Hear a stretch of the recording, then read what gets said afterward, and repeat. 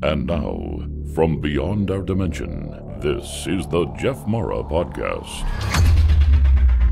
Here's Jeff. My guest is Rodney Jones, jazz musician and faculty at Juilliard. He's a longtime student of Eckankar teaching and for decades has sung HU, an ancient mantra and sacred sound for spiritual upliftment and connection to God, which we will learn about today. Rodney, thank you so much for being my guest and welcome. Thank you. It's my privilege and honor to be here and with all your guests as well. Thank you. Uh, Rodney, recently I had a guest who sang HU after a terrible car accident, and I decided to reach out and have you come teach us how to sing HU, as well as um, if you can give us some basic information on Eckankar.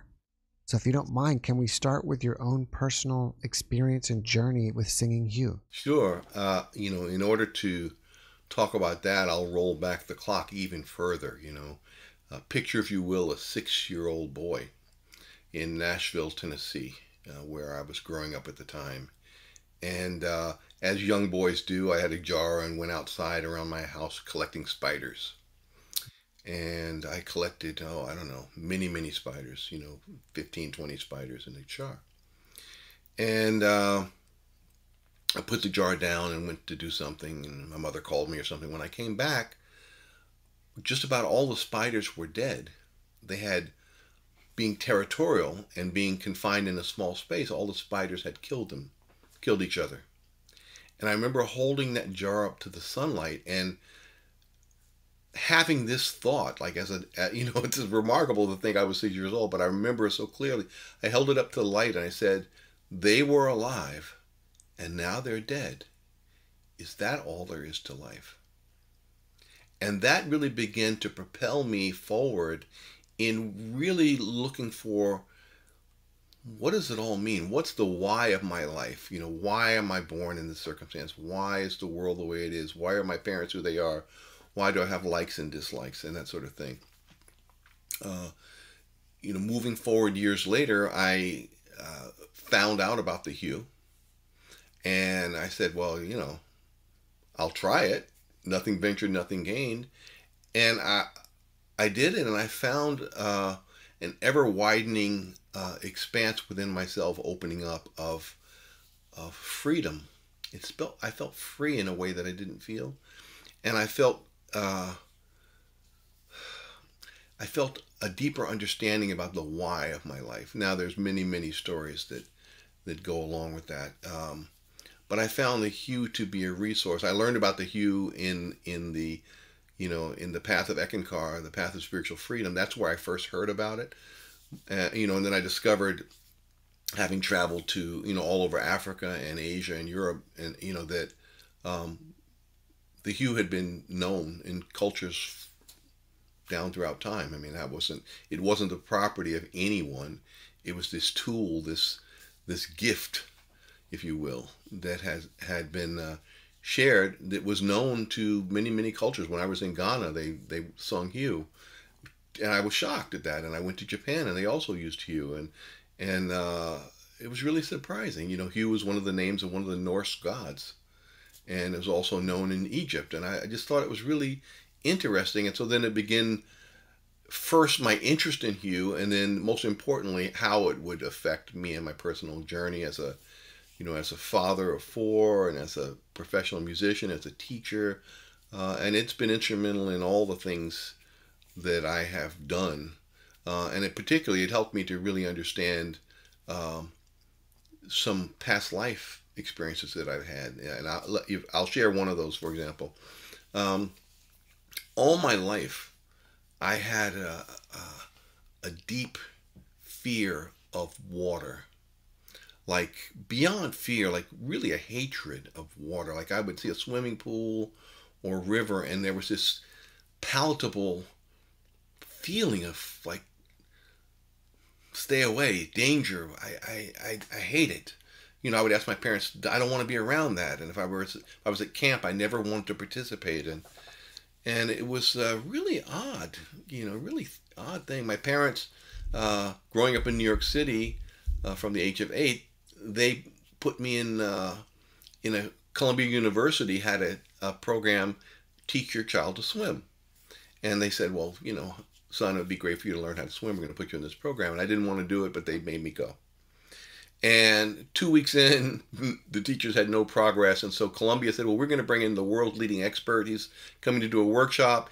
We're going to have all our students come. And over three weeks, he's going to teach your son to swim. And you'll see. He's the, the leading expert. He had written books on this topic, subject. Three weeks later, he, he failed. I didn't want anything to do with water, nothing like that. And that was really odd. You know, it was, it was like I say, it wasn't just fear of water, it was a hatred of water. And so one evening, uh, years later, maybe I was 18 or 19, I, I decided, you know, what is that about? Why is that? What, why, why that? Why haven't I learned to swim? Why am I so afraid of water? And I uh, sat on the edge of the bed and I sung HU, which I'll demonstrate after the end of the story. And uh, then I just went to sleep. And I asked, I said to Spirit or God, however you want to think of it, the best question I've ever found ever to say, which is, What would you like to show me? Because rather than me defining the experience or pigeonholing and say, I want to learn about this thing in this way, I wanted Spirit to have the widest possible lens to offer anything. Maybe I wanted to learn about, you know, swimming and maybe I needed to know about nutrition. So I wanted to leave it open that way. And I it led to me having a series of dreams, uh, Jeff. And uh, in these dreams, I was in England in what could have been the 1700s or early 1800s. And I was, now, now roll back a little bit at six or seven years old, I knew the word limnologist. You ever heard of that? Limnologist? Yeah. No, who has? Limnologist, right? I knew this word, limnologist, limnologist. I said, I want to be a limnologist, limnologist. And, you know, later I discovered that that's a person who studies ponds and inland streams. Very specific. Freshwater only, no salt water, you know. So, rolling forward. So, I had these dreams where I'm on the River Thames in England. And I loved my life.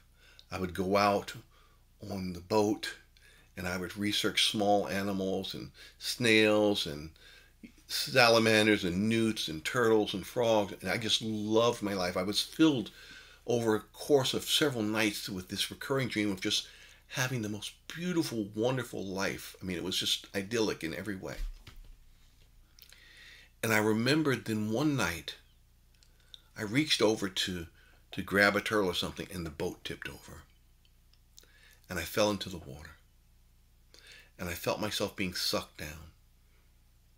Because I had on, I guess, whatever heavy, not heavy clothing, but, you know, jackets with pockets looking like an explorer type of thing. And I remember thinking, this water is taking everything I love from me. I love my life. I love what I'm doing. This is the best life. And this water is taking it all away from me. I, I hated the water for taking my life away. I drowned. And so I realized upon waking up that was the source of my hatred of water. Why it went beyond just a child being afraid of, I don't know how to swim, to hating it. That there was this visceral sense that water had taken something so precious away from me. And by singing HU and working with that, it helped me bring that fear and hatred into the present moment and release it. I was no longer a prisoner to that past life experience. I no longer hated the water. I understand I understood and by feeling it I was able to release it. I didn't even know it was there, but by having it resurface, I could let it go.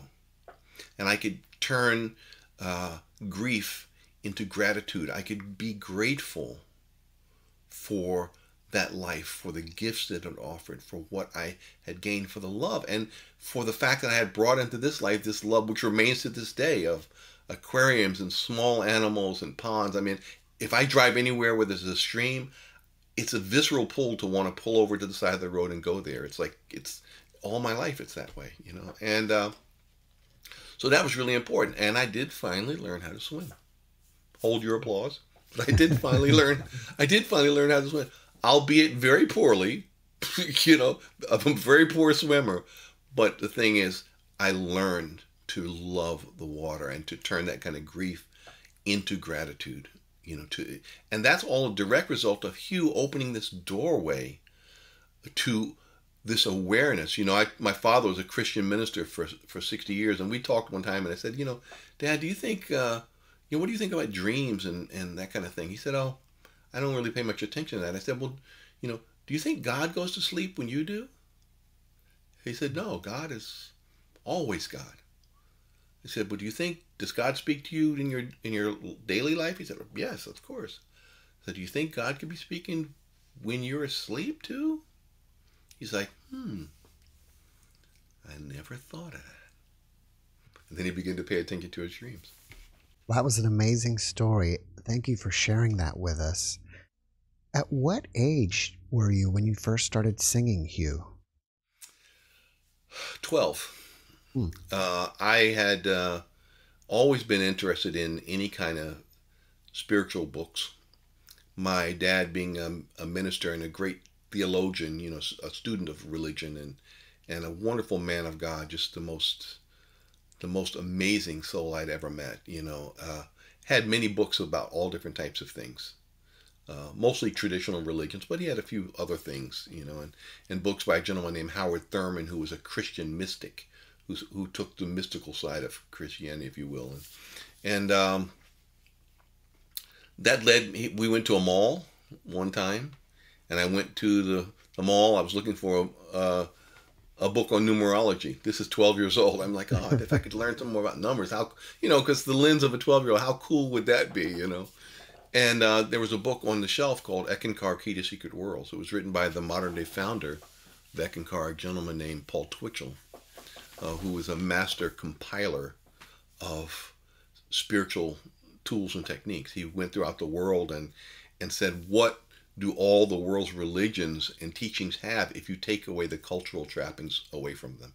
If you take the, the, the country, you take the, the religious traditions, if you take uh, the cultural traditions. If you take those things out of the mix, what's left? And he found that, well, what's left in, in virtually all religions are references to light, whether it's light or candle burning or, or an inner light, and sound, the singing of songs, the singing of chants, mantras, hymns.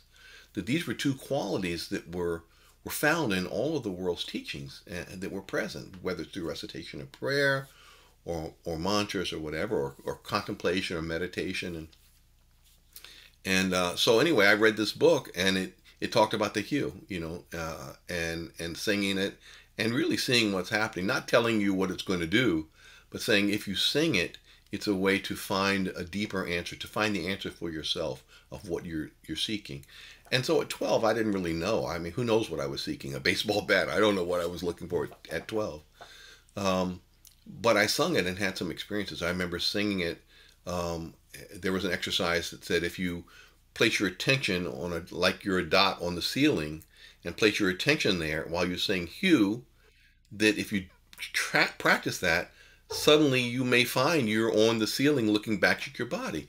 And that happened to me. And I remember thinking to myself, that's me. And I said, no, wait, that can't be me. I'm me. Who's that looking at my body? and that was the first time I really had this idea, this sense of being out of my body, like that I was a soul with a body, not a body that had a soul. That was the first moment. That was the 12. Well, actually, I didn't know a lot to do with that, but it did propel my continued interest in spirituality. That's the first time I learned about HU by singing it and having an experience. All right. Well, if you don't mind, teach us how to sing HU. I will. I, am happy to. Um, here again, the the HU is a it's an ancient word. You know, as a musician that I am, it, you know, I'm always interested in the the, the root sound, the, the seed sound, the core tonality, the the basic harmony, the most fundamental part of any piece of music or any sound. And the HU is this sound of spirit as it flows through the world, as it flows through us. It it's this sound that um, really is the atoms of spirit moving. Uh, it's also a, a doorway. It open for me. It has opened a doorway into uh, my own inner landscape, understanding the why of my life, why things are as they are, and connecting to first my passion in life, which is music, and then connecting to my purpose in life, which is much deeper, which is to unfold spiritually and, and learn, you know, who am I, why am I here, who am I, and whose am I, and what does it all mean for me. Um, so the HU is is something that uh, offers to each person a chance to experience a deeper love and a deeper connection that already is there. You know, it's a way of listening louder. It's an exercise I do with, with the students at school. You know, I say, okay, listen to a piece of music. Now we're going to turn the volume of the music down really softly. And rather than make the music louder so you can hear more, you're going to raise your attention to listen louder. And it's amazing that when students do that, they hear more in the music than if the music was very loud because their attention is heightened. Singing HU is that sort of thing. It's a relaxing, enjoyable thing done with the the curiosity and expectation of a of a child. You don't have to uh, imagine anything or or make any you know uh, declarations if you don't want to. You you're welcome to do that if you like. If you have a spiritual guide that you work with, whoever it is, you're welcome to invite them as part of that. But it's really a way of just opening up the heart to this presence of spirit and seeing what it would like to offer, what spirit would like to offer. Uh, one thing I'll say is it's really good, I found, to begin by putting my attention on something I love because I want love to be at the, the center of the journey. I want that to be the connective tissue of what I'm going to experience. Um, and basically, you put your attention on your spiritual eye here, the space between your eyebrows, and you can close your eyes or sing with your eyes open. Now, is spelled H U. It's pronounced Hugh, like like the a boy's name, Hugh, and it's sung in a long, drawn out tone on the outgoing breath, like Hugh.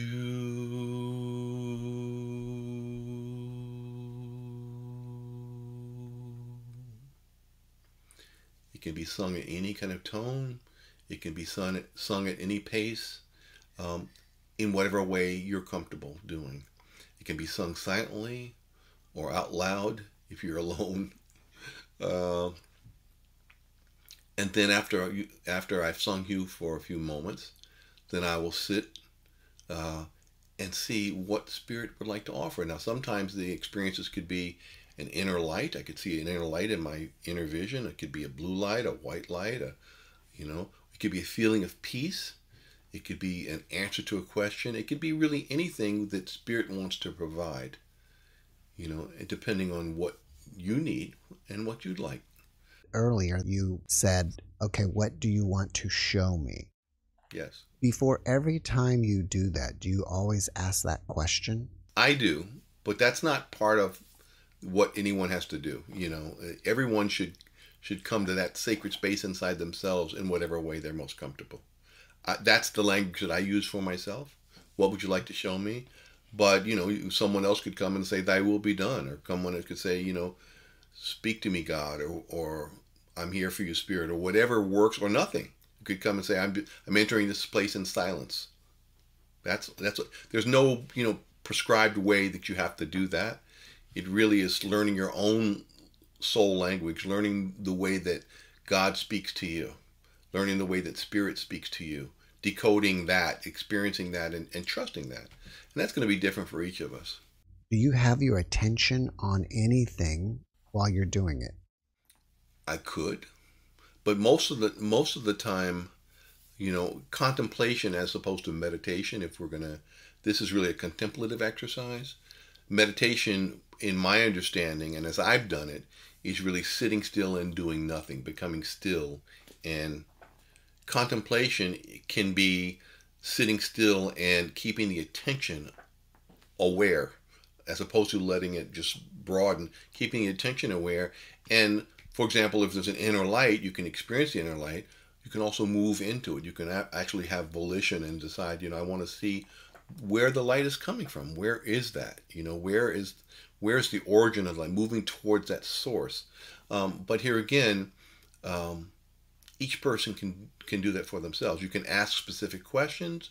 You can visualize a, a spiritual guide or or love or a beautiful scene.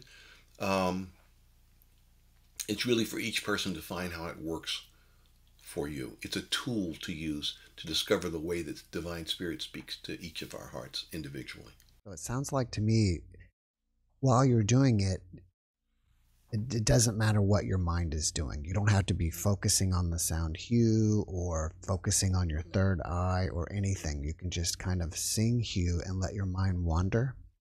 Yeah, I, I guess I guess it's kind of like you know if you've ever watched a movie that was no good, a half an hour seems like a three hour movie. And if you've ever watched a movie that was great, a three hour movie seems like it goes by in a half an hour. And so the idea for me when I think you is to become interested in what's going on. I, I, I watch the scene. I participate by watching and, and, and seeing and become being interested in in what's present and then just being open. But it could be stillness. It's really each according to whatever we need. Mm-hmm. Um, you you can have specific. You could sing HU and say, "I want to go to an inner temple or I want to meet this spiritual teacher or I want to thank you and just experience a deeper peace or I want to thank you to experience, you know, answer to a question. Those are all fine. It's really whatever you, and that can change. You could do one one week and one one time and do something else the next time, but it's not a concentration thing where you're trying to hold an image of something and, you know, are trying to still the mind so the thoughts go by and like stop, you know, stop. It's more like you're watching it like it's a, for me, I watch it like it's a movie, like it's a show and gradually it, it gradually thins out for me where i'm just present. And that is where a lot of fun begins. Can you sing HU in a group? Sure. I mean there are even online HU songs i believe and and um, resources a wonderful resource. If you go to GiftofHU.org um, there's a HU app. You can download it from the Apple App Store, I believe. It may be for Android as well. It's just a HU app from Eckankar, and you can listen and sing along with thousands of people singing HU, and it's a very uplifting sound, even just to play it in the background or to sing along. That way, it's not just you, you know, in your room by yourself, and see you see that feeling, experience that feeling. But yeah, HU can be sung in a group as well. Not in unison. Everyone doesn't have to sing in the same pace. Everyone can sing in the way that's comfortable for them. It's a rolling HU um, but yeah, the HU app is a wonderful resource that anyone can check out, and it's free. I was kind of basing my ideas on HU from my previous guest, and I believe when he was doing it, he was like singing love to God. So I wasn't sure if you should be singing to God or giving emotion or trying to feel love for God while doing it. Well, absolutely. I mean, it is a love song to God in the sense that it's opening our, it opens the heart to receive these this gift of spirit, whatever it is for each of us. I mean, if I were in, you know, a critical car accident, absolutely, I would be seeking guidance and want help with that situation. And that's, you know, healing is another aspect. You know, insight is another aspect. Balance is another aspect. Those are all completely legitimate reasons. It just depends on what you need. Um, it is a love song to God, and you know, one sings it with I sing it with reverence and gratitude. Really, um, gratitude for my life, for the gift of life. You know, gratitude for that gift. I, I sing it with that um, because although I, you know I'm a musician, I can, you know, have trained my hands. I can't create my hands. I didn't create them. You know, I, I, I did. I don't give them volition. That that's. I, am grateful for the gifts that my life has, and and um, so it is a love song to it's God. It's a way of connecting, you know, in the deepest, most profound way with within ourselves to this flow of love that comes from the heart of all creation and flows down through all creation. How that plays out in an individual basis depends. Sometimes, sometimes that's the experience. It, it feels like that, and sometimes it comes as insight, or sometimes it might come as silence. Love you know, doesn't have one particular type of definition where it's like love feels like this. Love could be silence. Love could be peace. Love could be stillness. Love could be an answer to a question. Love could be many forms. I know as a parent, you know, um, you know, love was oftentimes getting up at six in the morning and making breakfast with my kids. That was love. They didn't see it that way. It's like dad's doing what he's doing. But for me, to pull myself out of the bed at six, that was love. So it, you know, uh, it just depends on the orientation. But generally speaking, the reason I, I don't frame it that way right now is because not everybody is using the same language and the same terminology, and the HU is for everyone. So someone that is is you know doesn't feel particularly loving and doesn't have that sense of reverence towards God, but still wants to get answers to questions and insights into their journey can use HU in that way. It it reveals itself. It it peels the layers of the onion from within gradually. And so there's no pressure that I have to be in a particular state of reverence to sing HU or I have to be pious to sing HU. We're all worthy and able to sing HU. It is a love song, but it's a love song that speaks to each of us individually according to what we need and what, and what we want. I had been thinking that in a lot of traditional religions, it seems that um, it wants people to worship God.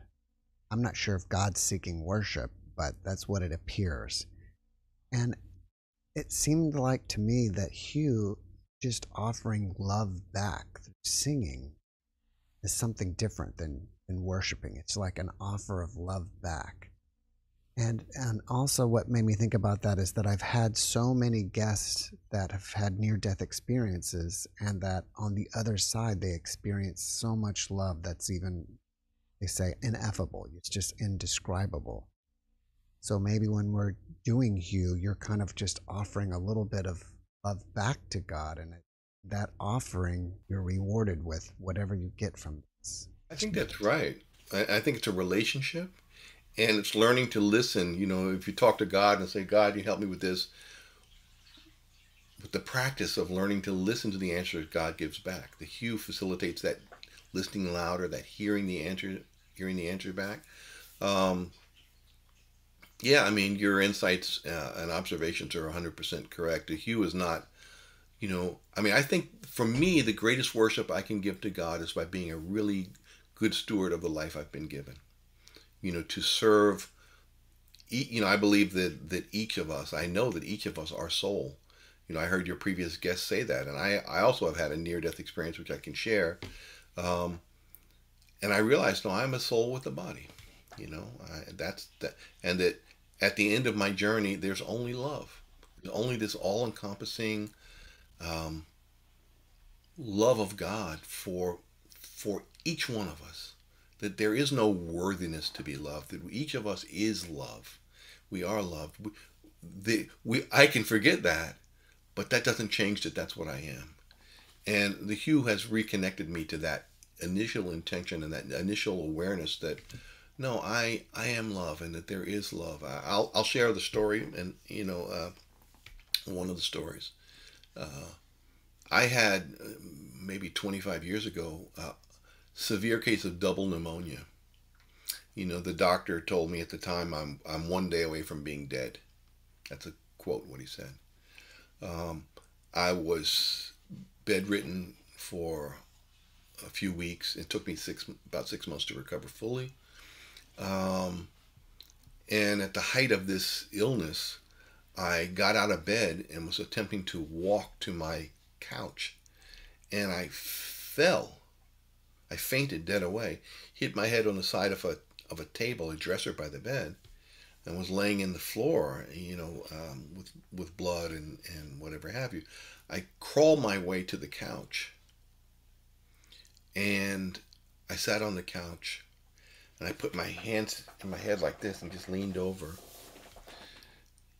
And I felt this all encompassing love, this love beyond any definition, this love beyond any explanation, a love that needed no questions, it, it needed no answers. It was just, it just was. It was just this beingness of love, this presence.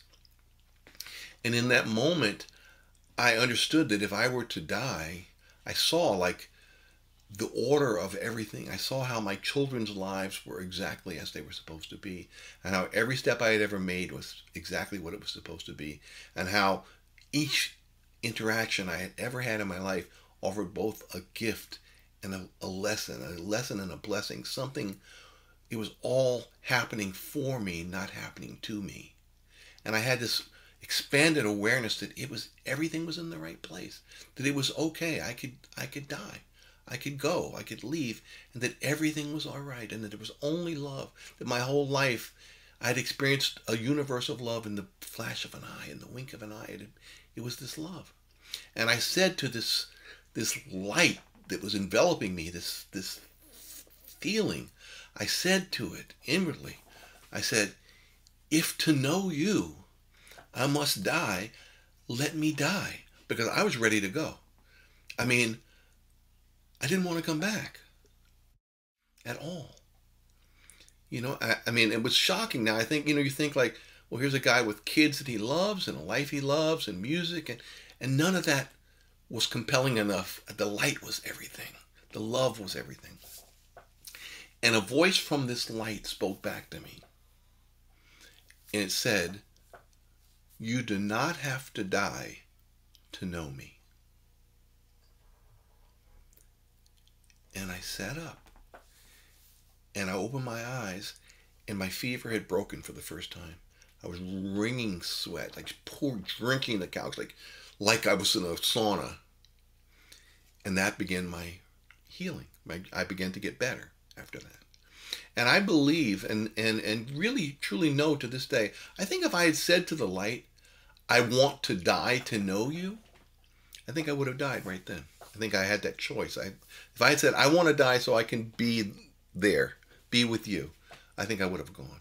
But I said, if I must die to know you, then I want to die. And the answer was no, you don't have to die to know me. Well, hence the HU. The HU is that thing with me that connects me to that source of that love. Now, that's not to say that every experience is profound like that, but I have had profound experiences like that without having to almost die. I've been able to open my heart and consciousness and awareness to that all embracing love of God for all of us and to experience that. And that has had a tremendous effect on how I view my life, how I view the life of others. The fact that I view, you know, that life is happening for me, not only to me, that things happen, but there's a, a lesson and a blessing behind them. And, and being able to see that, increasing my awareness to recognize that. You know, one of the greatest things is to be able to see the blessing while you're still in the fire. You know, hindsight, you know, I went through that experience years ago and now I realize that's great. I have found an increasing ability to recognize the blessing and the gift of the experience while I'm in it. And that has changed the, the character and quality of my life in, in beautiful, dramatic ways. I'm able to to recognize the sacredness of the moment in the smallest of things, not only the grand experience of this inner light, but to see the smile of a child and see God's presence there, to see that in nature, to, to see that with my cat, to see that in, you know, in a city street, to feel that in myriad of ways, to recognize that this this life for me is a is a gift, and to experience gratitude then opens my heart to recognize the blessing. You know, many people receive, if I receive a blessing, I'm grateful for the blessing. And the way it's, it's sort of manifesting with me now is I'm grateful and that facilitates my awareness of the blessing. So gratitude first and then the blessing, not the blessing and now I'm grateful. Um, but that, that, that's, that's how HU has connected that profound near-death experience to having that same resonance, that same access to that love and expansive consciousness and understanding without having to die. I believe you said that your life is for you. I think that's how you said it. You you realize that your life is for you. And to me it's interesting because it kind of implies like then that your life is a gift for you. Yes. Well, that's the you know that I've teased my children for years. You know, I said if I if I were to if I were going to have a tombstone, which I won't, I'll uh, you know I'll be cremated. But if I were going to have a tombstone, I've told them it's going to say one of two things. The first thing it's going to say is, "See, I told you I was sick." you know? and the second thing it would say is, "Everything in life happens for me. Nothing in life happens to me." And that is the lens through which I experience my life. That life is a gift, and that that the thing that creates the separation is the narrative I tell myself about the journey I have. Um, uh, uh, a great spiritual teacher told me um, You know, Rodney, all souls, all beings on earth experience pain. But suffering is optional.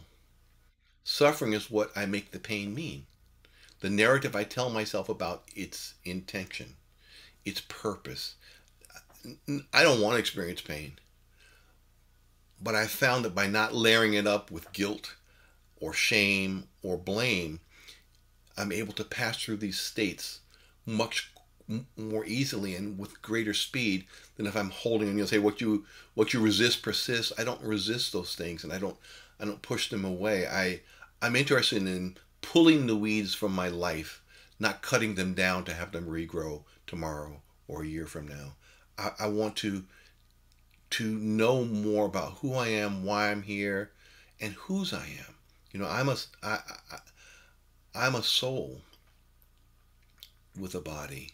I'm an eternal soul. Each of us is an eternal soul, deathless, who cannot die, who is loved beyond all measure by God, who's on a journey of unfoldment to experience a greater awareness and to and to give to life to serve not selfish spirituality i'm going to unfold myself and look how great i am but i'm going to let my life be in service to others while i unfold at the same time and that has been a profound thing. And then to learn whose I am.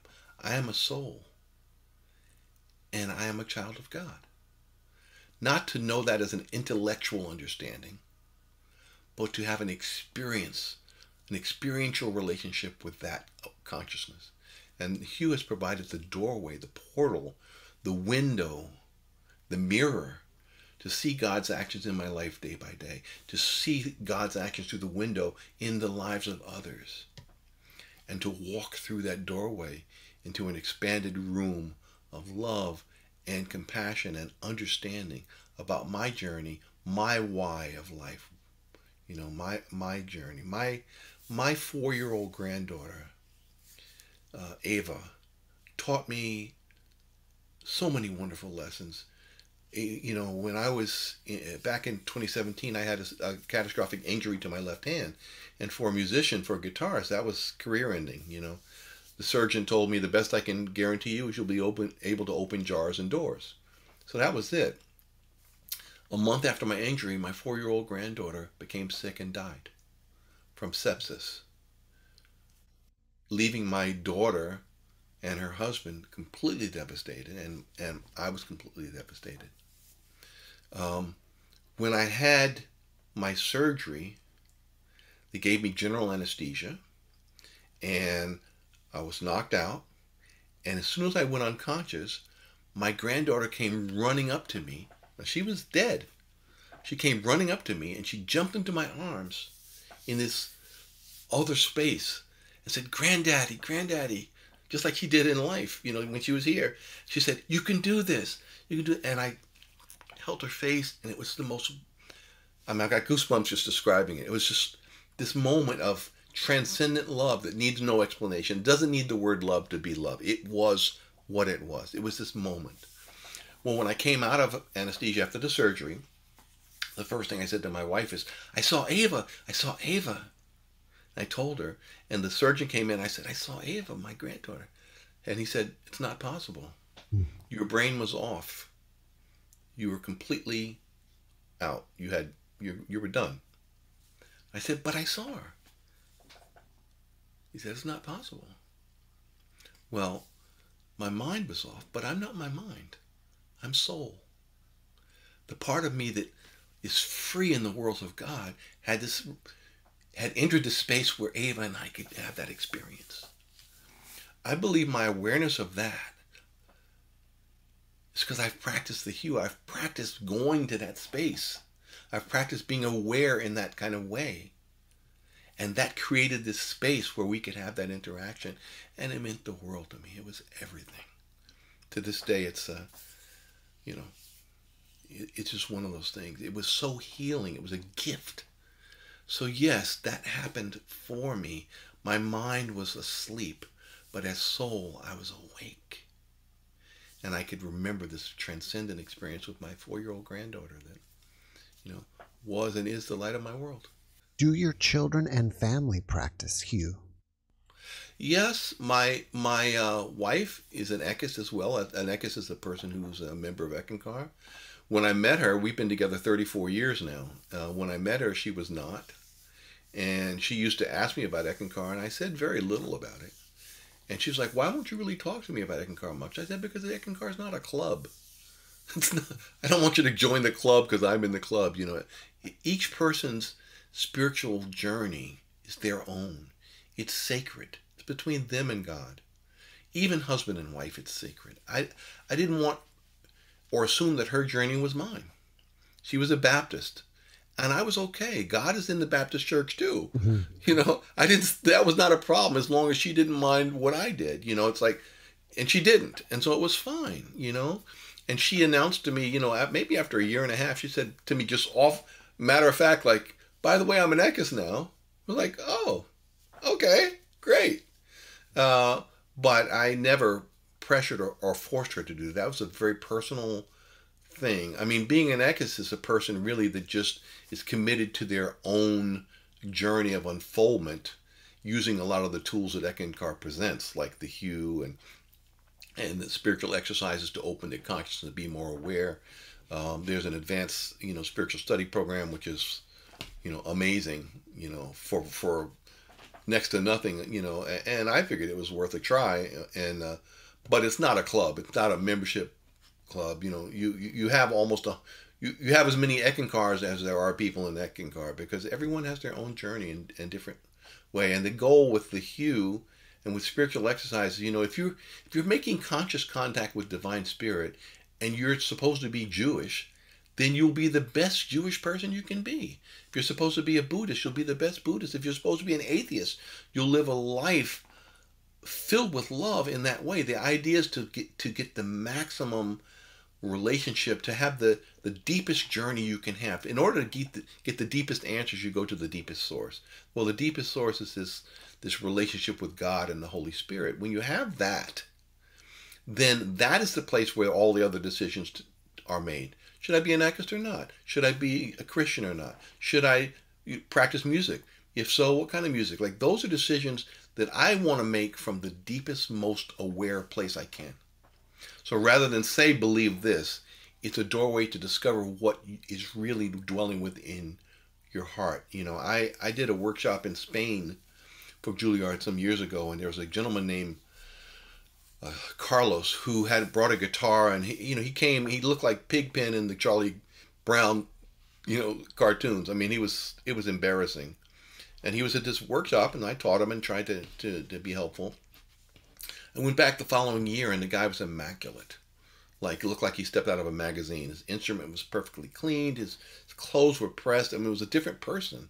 And at the end of our week there, I said to him, I said, You know, Carlos, look at you. What an amazing transformation. I'm so honored to teach you. And he stepped back and said, No, you did not teach me. And my heart sank because I, I, I cared about this young man. And he just rebuked me and said, You didn't teach me. And he leaned in and he said, Rodney, he said, A teacher shows me what they know. He said, But you did what a master would do. A master showed me how to find what I know. You reminded me of who I am, what's within me, where the music is within me.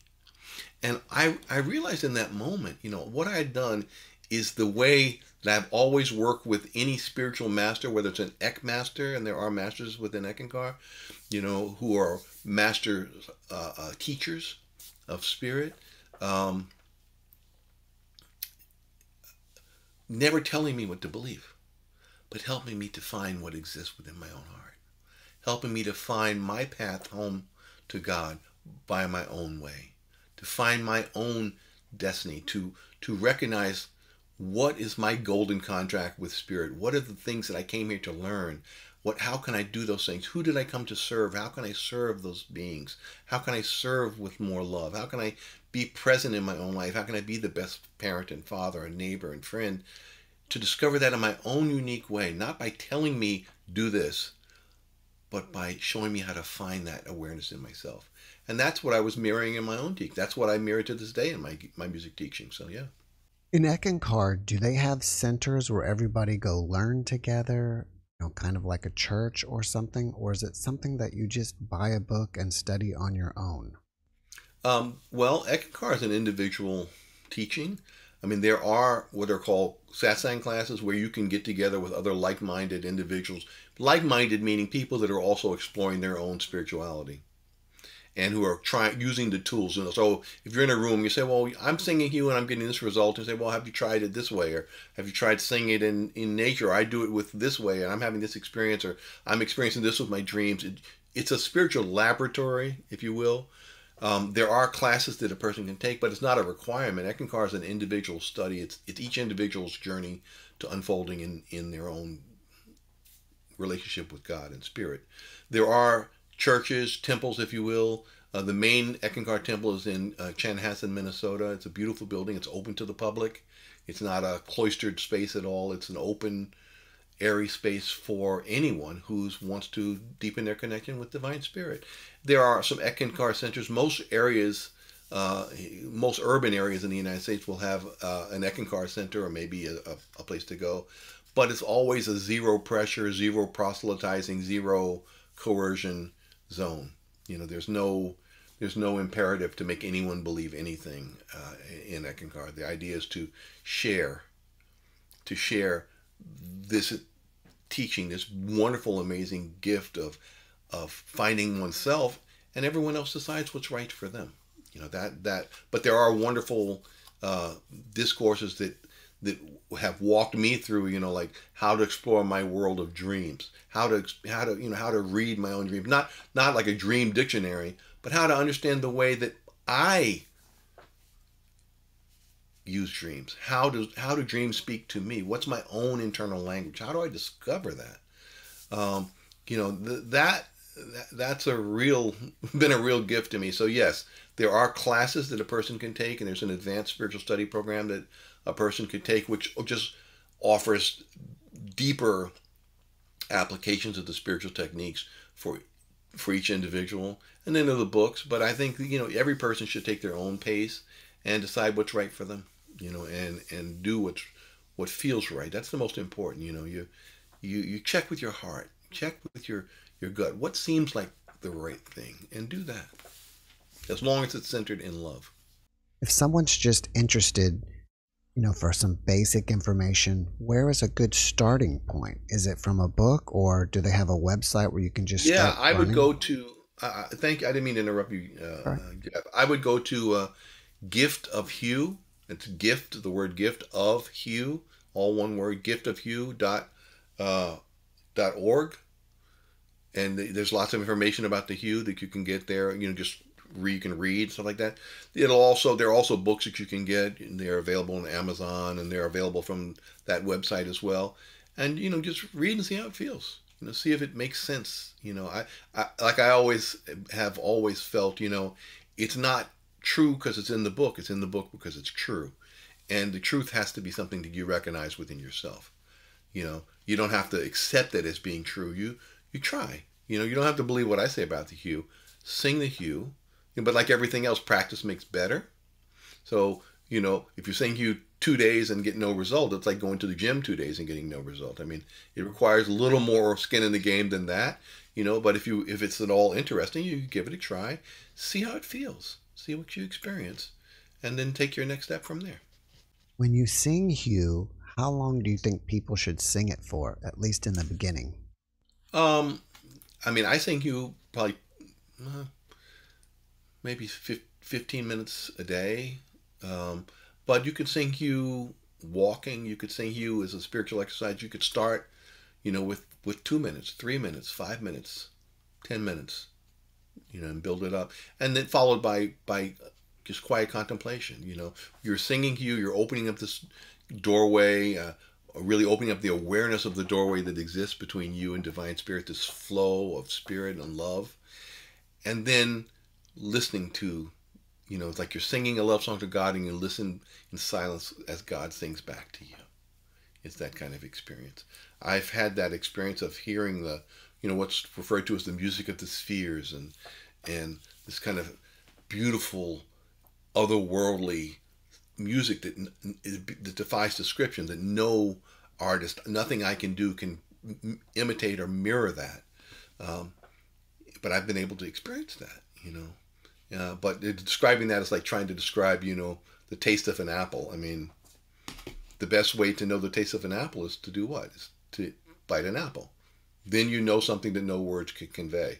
Likewise with the HU, no matter what I say about it, when you sing it and and try it and work with it for you know a week or two or a month or whatever have you then you know.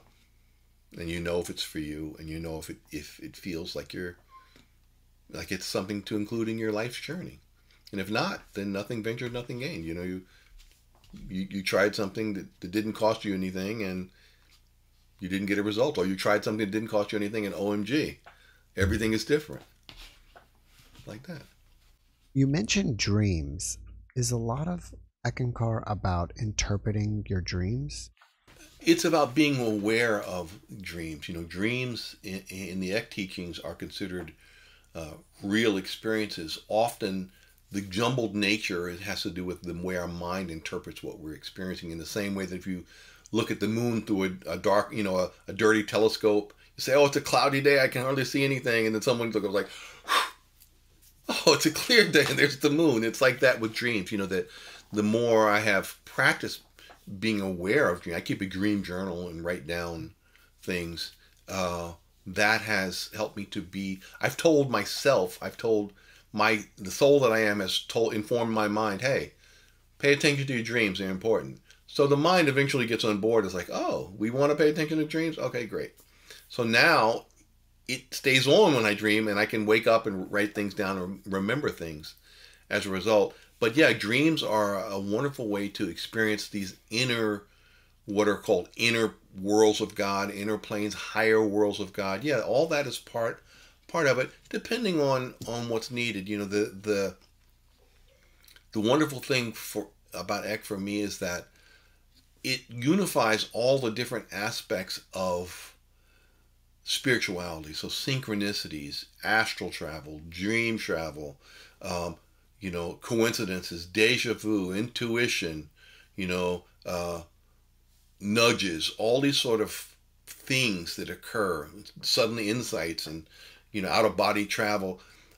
I always wanted to know the why of the like, because any one of those could be a lifetime of study. You could take any one of those things I mentioned, say, all right, I'm going to go full on with this and spend the rest of my life studying that and, and learning about that. What Eckankar does is say that all those has shown me that all of those pieces are conspiring to this other part, this for me part, which is to help me unfold spiritually, to help me take my next spiritual step, to help me grow. And so they're all lenses that can do that. They're not they're not ends into themselves, but they're aspects of divine truth that each offers an insight, a gift, a step. You know, you can't climb a mountain that's smooth. And so I've learned to reinterpret the obstacles of my life as being the stepping stones to learn something, to grow, to give more, to serve more. And dream travel is part of that, where you can be aware in your dreams, uh, similar to lucid dreaming, with with the you know with the expansive vision of so many different uh, wonderful aspects of these inner worlds of, of spirit that are not as encumbered as this physical world is. With this, the place where the light comes. Obviously, you believe in reincarnation because you've experienced your past life. Um, I'll just put two questions out there for you. One, does Eck teach about reincarnation? And two, for the big picture, what is the point of us coming back over and over again, in your opinion? Well, yeah, I do. I wouldn't say I believe. I mean, I know about reincarnation because I remember some of my lives. So it's not for me. It's not a belief. Um, you know, Eckankar embraces that that soul makes many journeys into the world of flesh to gain experiences to unfold. You know, and to uh, to grow in love and service, and to unfold into mastery, to spiritual mastery, to to become the captain of your own ship, You know, not to become an impersonal atom of God, but to become a conscious co-worker with God, which means to do God's work. I always say, you know, Spirit will guide those who are willing and drag the rest. You know, so it's a way to not get dragged, you know, to, to not be dragged through life, but to have this willing relationship, conscious relationship with divine spirit. Um, what was the second half of your question? So you kind of already answered it, but I was just wanting to know with your own life experiences, including your what you've learned from Eck, in your opinion, why do you think we keep coming back over and over again? Well, that's that is the question of all time, isn't it? You know, isn't that the the question? Why are we here? Who are we? Why are we here? What does it all mean? Um, and I think that's something worthy of each of us spending a lifetime to answer if that's what it takes. It doesn't take a lifetime. You know, I I know from my own journey that, you know, I came here to learn uh, who I am, that I'm a soul. I came here to learn whose I am, that I'm a soul in the arms of God, and I came here to serve others in the same understanding. Hence, I'm on this podcast. That that is the that I came here to to grow and unfold and to learn and to give that where I am planted is where I can serve the best, serve the most. And that sometimes, you know, the, the most fertile soil, soil is the darkest. Sometimes just because everything's dark doesn't mean it's not nurturing. It just means that I have to sprout through it. And uh, I, I've learned that each of us, uh, you know, each of us, our story matters our journey matters. The things we say, the things we do, the love we give, the thoughts we hold, it matters.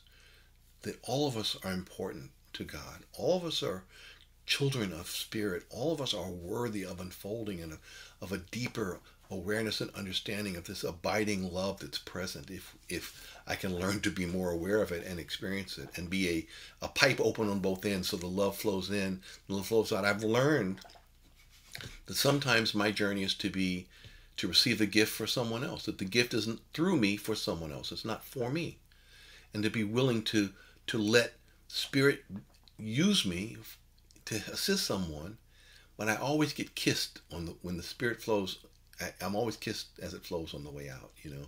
I've learned that my life and the lives of all humans all souls is a great love story. It's a love story and like all great love stories it has an arc of up and down and success and failures and redemption and freedom and not you know it has this arc that all the great love stories from the beginning of time have. But in the end it's a love story and moment by moment it's a love story it's this it's the love of god pouring out so that i can gradually unfold gradually awaken gradually learn to give more to serve more to experience a greater portion of the divine love that's present in all the worlds. And so the phenomenon of where it is and if it's in this inner world or it's this spiritual teacher or this, that, is not as important as being the channel, being a willing vehicle, a willing participant in my own unfoldment, to be to grow into being a spiritual adult. You know, to to to take that and to to learn from how to be the, the, the best human being and the best spiritual being I can. That my humanity and my divinity are not at odds. I want my humanity to be in service to God the same way I want my divinity to be in service to God. That unfolding is not something to do only alone by myself, it's something to do in the depths of my being, but to serve all. You know, that I will learn as much or more by serving. you know when you row a, someone you know in a boat across a river to get to the an island you get there yourself you know when you shine a flashlight for someone else to see in the dark you also can see and so i've learned that by serving you you can help in that way you know that that um, we're all walking each other home and by different paths some are going different. Some people are in Eckankar, some are not. Some are in this or not. I want to share one story, if I may, one sure. story that that emphasizes this point. You know, I I played guitar for years with a group called the Manhattan Transfer. They're a singing jazz group. They were very popular, and and we did a tour of Europe, ending in the Ukraine of all places, uh, in Kiev. And I flew back, and you know, it was an arduous flight. We flew from Kiev to Helsinki, Finland, and Helsinki, Finland to Kennedy Airport. And, you know, by the time I got home, lights out, I was done. I was completely exhausted, you know.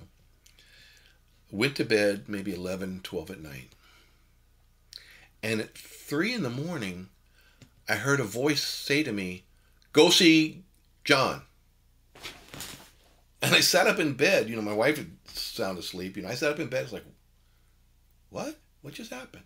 And I heard it again. Like I'm up now, and I heard it. Go see John. And then I sat there. I've learned to pay attention through singing to HU. I've learned that you know these kind of things. I should pay attention to this. Like, eh, you know. And I, I was like, John. Who do I know that's John? What? And the person kept kept coming to mind was a young man I had known. He was maybe 28, 29 years old, who had been injured in a car accident and was paralyzed from the neck down and lived in a rehab facility with a you know a, a machine that breathed for him. And i hadn't seen him in you know four years or so. But no matter how i tried you know i, I, I laid back down. And was like john no it just he kept coming to me john john john so like i say you know when when i receive guidance like that if i get a, a clear nudge because i practice listening to that you know so I got up, took a shower, and drove about an hour into New Jersey to where John was in this nursing facility, nursing home. I went into the building. I didn't see a soul. The door was unlocked. I didn't see any nurses, no doctors, no patients, nothing. I went up. I, I, somehow I went up to the third floor. I found his room. You know, I don't know if I, I don't even remember now how I knew that that was, but I went to the third floor and his room was there. I went in his room, and he was seemed to be asleep. You know, I mean, he was just laying. You know, could, nothing could move. He was laying there, his eyes closed, and I sat beside his bed, and I just opened my heart in gratitude, and I sang HU. Now, I didn't sing HU to get a result. I didn't sing HU to make anything happen. I sang HU just to open my heart to love, to be love for him, just to be love. Not even to give love, to be, to let this, this HU flow through me for whatever Spirit wants to do. When I opened my eyes, maybe it was 10 minutes later, you know, he was looking at me and tears were pouring down his face. And before I could say anything to him, he said, How did you know? And he repeated it again. I was speechless. He said, how did you know? And then the machine breathed for him and he said, Rodney, I've been sitting here day after day for years, saying to God, I have no purpose. I have no meaning. I can't move my hands. I can't move my arms or my legs. I can't breathe for myself. I can't feed myself. I lay here every day. And I can't just can't do it. And so I said to God last night before I went to sleep, God, I will only ask one more time. Spirit, if you hear me, if you are with me, send someone Show me. I won't ask again. He said, Today is my birthday. And I decided, if after these years, if I got no answer, if I'm just speaking to nothing, if nobody's listening, I just want to die. And today's my birthday, and I open my eyes, and you're here. How did you know? And I said to him, John, Spirit, God, sent me to you to tell you that you're never alone and that God hears every heartbeat, every murmur of your spirit, every dream and wish that you hold. God hears that. Spirit is with you and hears that. I'm here to tell you that I'm here for that. You're never alone. And that you can't, not doing a lot is not a limiting thing. You can be love. You don't have to do love. You can be love. You can be of service. You can serve the others here like yourself by being love. He knew about singing the HU. I said, You can sing the HU. You can connect to this love and let it flow through you. It will flow through you to them. You can serve as a channel for that love. God sent me here to tell you that. And now, by this time, he's weeping. I'm weeping. And I share the story for this reason. Singing the HU opening my heart to God's love is not a thing of selfishness. It's not it's not just for me. I recognize in that moment what's at stake when I don't listen. What if I had said, "Oh, go see John. I'll I'll do that tomorrow or the next day," or "Oh, who's John anyway? I'm tired." But through singing the HU, for trusting the process, I learned to answer that call to listen louder and respond. And because I did, I could not have known what it would mean to this soul, this man who said, This is my birthday and this is the last day I'm going to ask God to help me. And I recognized that singing the HU was not just for me, it's a way of giving service to life, it's a way of understanding my own journey and serving others. And that has given my life a real meaning and purpose to unfold spiritually and to help others do the same, to be a light in dark places, to allow the light and love of God to flow through me as it will, not directed by me, and to learn to listen louder to the nudges the intuitions, the small things, the small ways God speaks to a child. You know, it could be through anything, through a newspaper, through a, something on television, through a friend, through a relative, but to pay attention. Because what's at stake is not just my own awareness. It could be giving service to someone who so desperately and badly needed it. John has gone on to do very well. He found his why. He found his purpose. He realized that he could be love and that there was nothing that could ever prevent that. That he was not limited by his physical limitation in his heart, his being. So we learned a both we both learned a very valuable lesson that day about what the HU is. It's connecting to the divine essence of God the love of God and learning to be a channel for that in the life I live, day by day, month by month, year by year.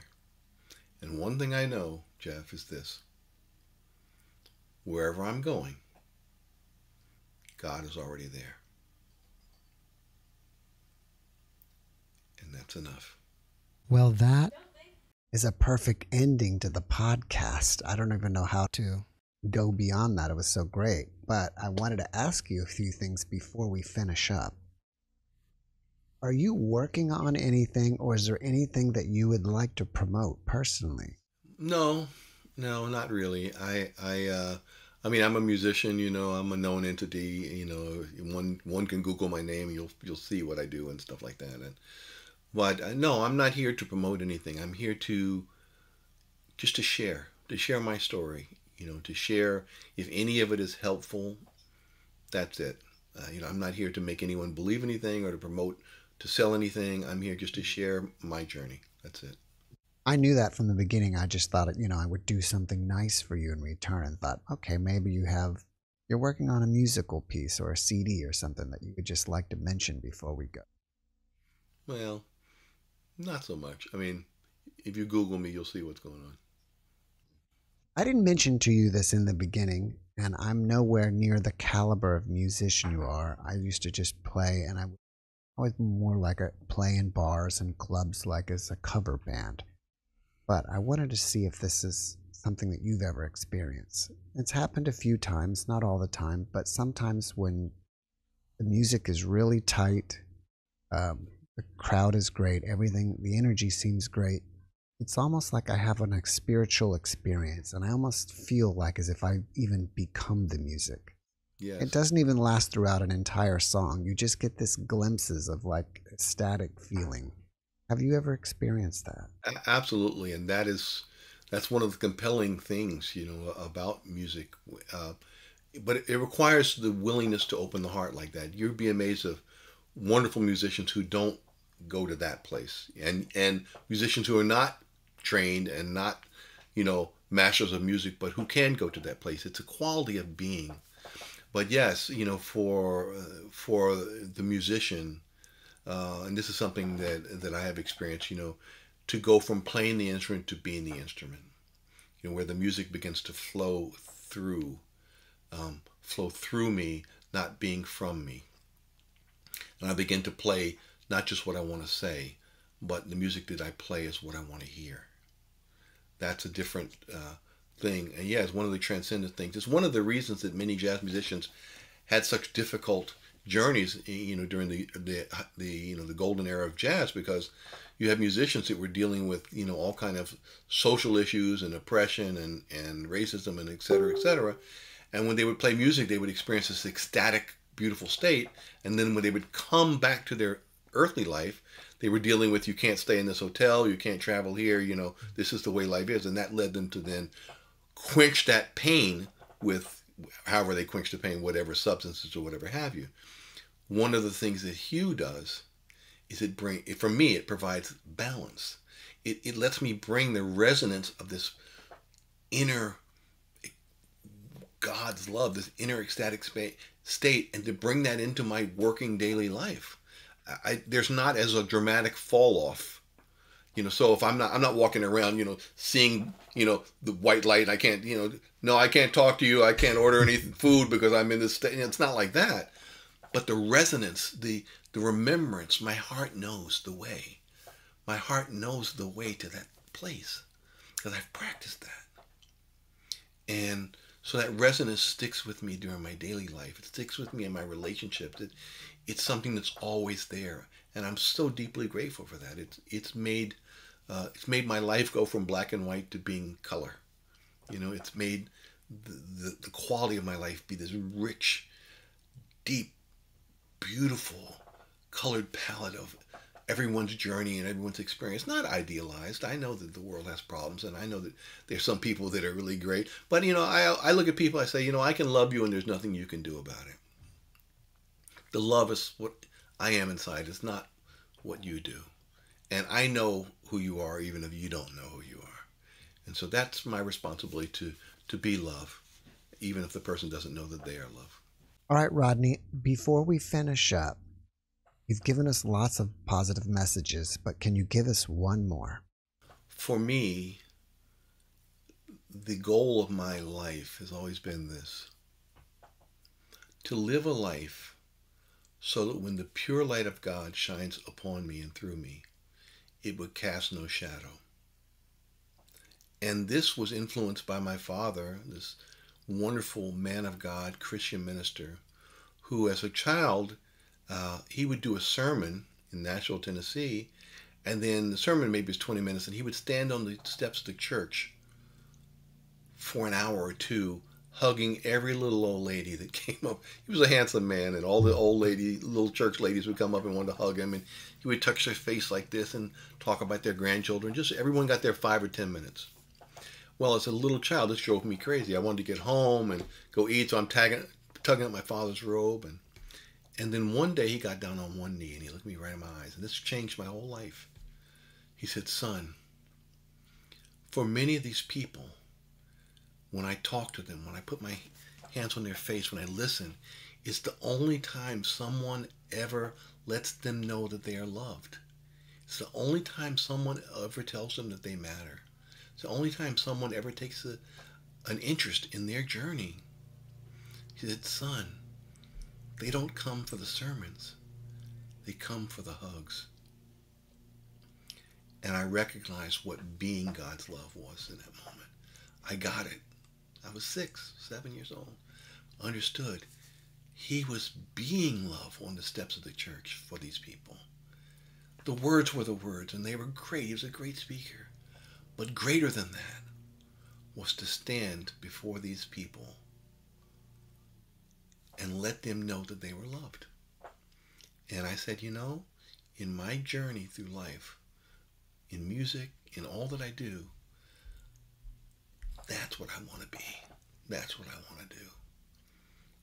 I want that to be the most important thing.